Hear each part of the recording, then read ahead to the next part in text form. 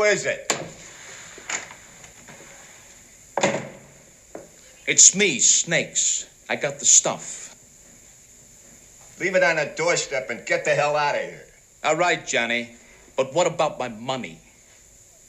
What money? AC said you had some dough for me. That a fact. How much do I owe you? AC said 10%. Too bad AC ain't in charge no more. What do you mean? He's upstairs taking a bath. He'll call you when he gets out. Hey, I tell you what I'm gonna give you, Snakes. I'm gonna give you to the count of ten to get your ugly, yellow, no good keister off my property before I pump your guts full of lead. All right, Johnny, I'm sorry. I'm going. One, two, ten.